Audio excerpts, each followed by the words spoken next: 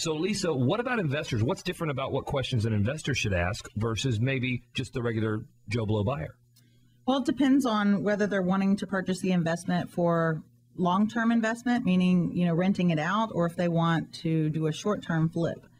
If they are looking for a flip, well, then of course you have to buy it low and sell it high. If it's for long-term liability, we'll go in and offer for retail because the tenant's going to be making that mortgage payment anyway. So then we're more concerned with condition, whereas if it's a flip, we don't care what the condition is. Condition, and I would assume cash flow for the investor, right?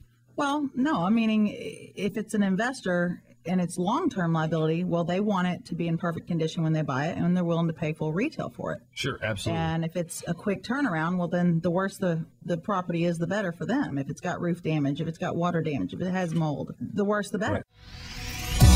Bye.